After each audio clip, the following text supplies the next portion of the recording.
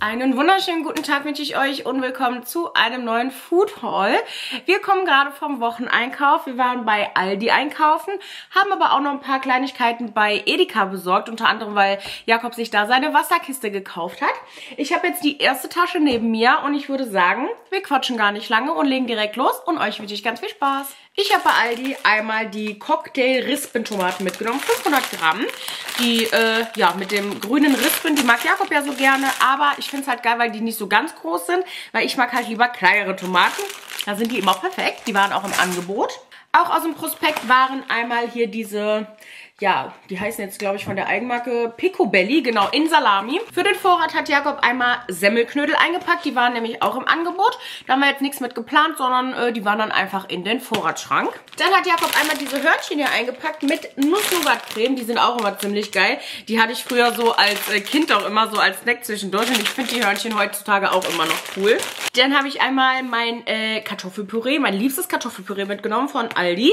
Ich weiß, ich sage es immer wieder in jedem Foodhall, wo ich das zeige, ich weiß, kann man selber machen. Im Moment habe ich aber absolut noch mal weniger Lust drauf. Und ähm, ja, wenn man da Milch, Butter und alles reinmacht, schmeckt das auch gut. Dann haben wir noch zwei Packungen Milch mitgenommen in laktosefrei, die 1,5 war. Dann hat Jakob einmal von Aldi die Leona am Stück mitgenommen. Die war auch im Angebot. Dann haben wir einmal ein Toastbrot, beziehungsweise das, ja, das ist ein Toastbrot, das Weizentoast, die kleinen Scheibchen. Denn äh, Toastbrot geht immer. Dann habe ich zwei Gurken mitgenommen. Einmal so fürs Brot oder für zwischendurch, wenn man Bock drauf hat. Und eine Gurke habe ich mitgenommen, weil ich habe es endlich mal in Angriff genommen. Wir machen endlich mal von TikTok diesen viralen Crispy Kartoffelsalat oder Crunchy Kartoffelsalat. Ich sehe den überall. Meine ganze For You, ich sehe es überall. Und es sieht einfach so lecker aus. Ich habe schon jetzt so oft gehört, dass der pornös geil sein soll hier sind wir. Wir haben eine Gurke dafür gekauft und natürlich andere Sachen, aber ich hoffe, der schmeckt wirklich. Im Angebot waren auch einmal die Wraps und da haben wir einmal die Weizenwraps mitgenommen. Übrigens sehe ich gerade, die haben eine neue Verpackung, weil die sind jetzt pink anstatt rot. Sieht cool aus. Ja, auf jeden Fall einfach so, äh, wenn man morgens Bock hat, anstatt Brot irgendwie sowas zu essen. Jakob isst die auch total gerne, nimmt die auch gerne mit zur Arbeit. Und ich dachte, wenn sie im Angebot sind, kann man die natürlich mitnehmen. Zum Kochen habe ich einmal passierte Tomaten eingepackt für ein Gericht und auch noch einmal eine Dose Mais. Und für den Gewürzschrank noch einmal getrocknete Petersilie. Das ist ja mein Go-To, finde ich immer gut. Dann habe ich hier einmal die Geflügel-Leona und zwar die von dieser Junior äh, kleinen Mini-Abteilung bei Aldi. Ich habe nämlich tatsächlich dieses Bärchenwurst irgendwie im Moment für mich entdeckt. Es ist immer noch katastrophal, was ich aufs Brot essen kann, weil alles irgendwie so äh, ist mittlerweile.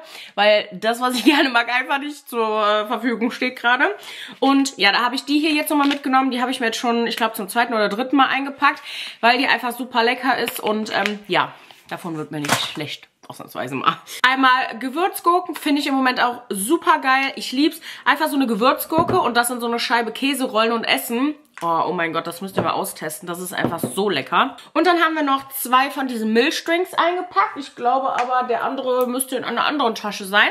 Und zwar einmal für Jakob den American Style Brownie Geschmack. Bin ich mal gespannt. Dann einmal zum Kochen habe ich die Pastasoße mitgenommen in Basilico. Habe ich auch einfach immer gerne da. Und vor allen Dingen, wenn es mal schnell gehen muss, die war jetzt auch im Angebot. Und da bietet sich das immer ganz gut an. Und einmal neue Margarine, die kleine hier, die Vita Reform mögen wir auch sehr gerne fürs Brot. Dann ist in der Tasche noch einmal eine Cola gewesen und zwar von Sinalco. Ich glaube, die war im Angebot, soweit ich weiß. Einen großen Sack Kartoffeln haben wir eingepackt. Das brauche ich diese Woche einmal für den Crunchy TikTok Kartoffelsalat und ähm, noch für irgendein anderes Gericht, glaube ich. Ich bin mir jetzt gerade aber irgendwie nicht mehr sicher. Doch für Scheibenkartoffel, glaube ich. Aber den Essensplan verrate ich euch natürlich gleich. Und dann haben wir noch zweimal gemischtes Hackfleisch mitgenommen, je 500 Gramm. Ich nehme ja normalerweise gern diese 800 oder Kilo Packung da. Die hatten aber jetzt nur die 800 Gramm. Ich brauchte aber auf jeden Fall für die beiden Sachen jeweils 500 Gramm. Also habe ich einfach die einzelne mitgenommen. Machen wir weiter mit der zweiten Tasche. Das ist eine kleinere. Wir haben einmal sechs Eier mitgenommen. Die waren 30% reduziert und die hat Jakob entdeckt. Und ja, da haben wir einfach mal ein paar Eier zu Hause. Dann hat er sich noch von Milsani, also die, die Eigenmarke, den High-Protein Grießpudding mitgenommen in Zimt. Ich glaube, da werde ich einfach auch mal probieren, weil das hört sich gut an. Aber ich esse meistens diese High-Protein-Sachen nicht, weil die so einen richtig ganz komischen leicht widerlichen Nachgeschmack haben und ich das absolut nicht feier und äh, ja, meistens sind die jetzt auch nicht viel besser als andere. Dann haben wir noch einmal Romana-Salat mitgenommen, also die Salatherzen. Die brauche ich auch diese Woche für ein Gericht. So, dann haben wir noch ein zweites Mal passierte Tomaten und ein paar Banänchen, denn Äpfelchen und ich meine Trauben haben wir nämlich noch hier. Deswegen haben wir da nicht zu viel mitgenommen. Vor allen Dingen, na, ihr wisst ja mit dem Essen und so, nicht, dass nachher alles weggeschmissen wird. Da fahre ich lieber dann nochmal und hole mir nochmal was, worauf ich Lust habe. So ist es ein bisschen einfacher. Dann habe ich für ein Gericht einmal saure Sahne eingepackt. Und für diesen Crunchy Kartoffelsalat einmal Joghurt, weil da kommt wohl Joghurt rein als Dressing. Also so wird das irgendwie gemacht. Hier ist der zweite Milchdrink und zwar einmal mit weiße Schokolade Geschmack. Richtig geil, da freue ich mich richtig drauf. Dann brauchen wir auch einmal Zitrone. Da habe ich jetzt einfach hier diese flüssige mitgenommen, dieses Bio-Teil. Hat man ja auch ein bisschen länger was von. Leberwurst habe ich auch eingepackt mit Schnittlauch. Dann haben wir noch ein Brot und zwar das Paderborner. Da hatte ich irgendwie mal voll Bock drauf. Das war diese Woche so richtig schön weich. Dann kommt in den Crunchy Kartoffelsalat auch noch rote Zwiebel rein. Wir haben jetzt nur äh, weiße hier gehabt. Deswegen habe ich nochmal so ein kleines Säckchen hier mitgenommen. Kann man ja auch für alles immer gebrauchen. Ein bisschen Süßes darf natürlich auch nicht fehlen, ne?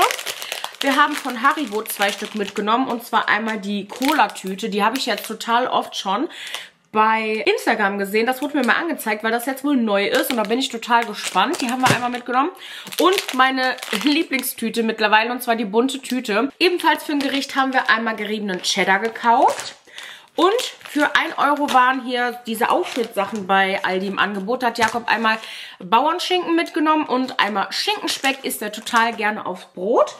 Und ebenfalls für 1 Euro haben wir dann noch Bierwurst mitgenommen und einmal, weil wir im Moment total auf Käse stehen, haben wir so eine riesige Packung mal mitgenommen und zwar diese 400 Gramm Edamer Packung. Käse geht momentan wirklich immer. Und dann kommen wir zur dritten und letzten Tasche. Das ist aber auch eine kleinere, aber irgendwie hatten wir nur kleine Taschen dabei und mussten alles in drei Taschen verteilen. Jakob hat bei Aldi einmal ein kleines Toastchen mitgenommen. Und zwar ist das wohl neu. So wie ich sehe, ist das auch vegan. Ja, okay. Logisch. Steht nämlich drauf Haferdrink Sandwich. Ich gehe da mal davon aus, dass es halt einfach so ein, äh, ja, Weizen-Sandwich, aber anstatt halt mit normaler Milch oder so, ist es halt einfach mit Hafermilch gemacht. Hört sich auf jeden Fall interessant an, bin ich mal gespannt. Dann habe ich etwas entdeckt, das habe ich auch bei Instagram schon gesehen und das habe ich bei Edeka dann eben durch Zufall gesehen, weil ich durch eine Abteilung gegangen bin, wo ich wirklich nie lang gehe eigentlich.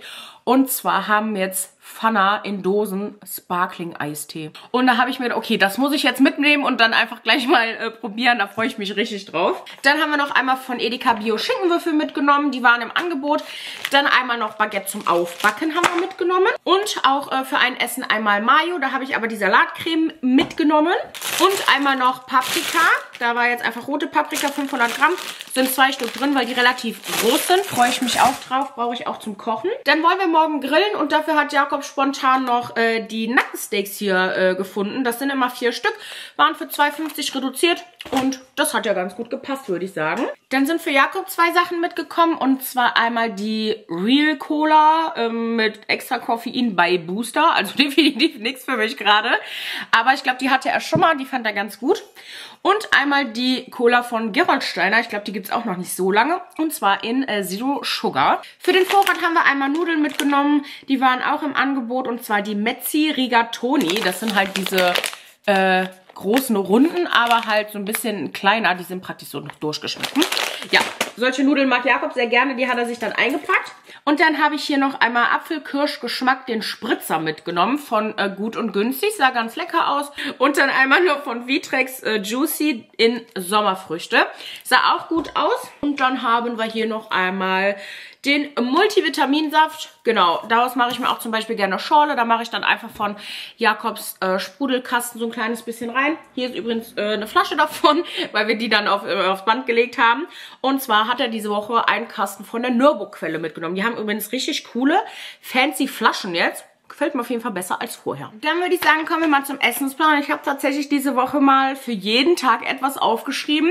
Ich war mal ein bisschen mutig, vor allen Dingen, weil wir auch noch ein paar Sachen hier haben, die wir gerne noch aufbrauchen wollen aus der Tiefkühltruhe. Also ich habe aufgeschrieben, diesen Crunchy Kartoffelsalat von TikTok. Wie gesagt, den werden wir heute machen, weil Wie gesagt, fand ich den so geil. Der sieht so gut aus und ich habe es jetzt schon so oft gesehen und auch von vielen gehört, der soll so lecker sein und ich kann es nicht mehr abwarten. Ich will ihn unbedingt ausprobieren. Dann werden wir morgen grillen. Es soll richtig schönes Wetter werden. Der äh, April hat bisher eigentlich schon relativ sonnige Tage für uns bereitgehalten. Da freue ich mich drauf. Dann machen wir einmal Kartoffelpüree mit Barbecue-Burger und Salat. Wir haben einmal äh, Barbecue-Burger gemacht und zwar äh, mit einem Rezept von unserer Family aus den USA und die waren einfach so geil, aber ich habe viel zu viel gemacht. Deswegen haben wir eine Portion davon auch eingefroren und ich dachte mit Kartoffelpüree, dann ist das so Art eine Frikadellen mit so Soße. Könnte super lecker sein und ähm, ja, da hatte ich auf jeden Fall voll Bock drauf. Dann wird es noch einmal Reis mit Hühnerfrikassee geben. Für Jakob und meine Oma haben wir alles noch hier. Jakob hatte mal vor einigen Wochen eine Riesenportion Hühnerfrikassee gekocht und hatte davon noch ein paar Portionen eingefroren.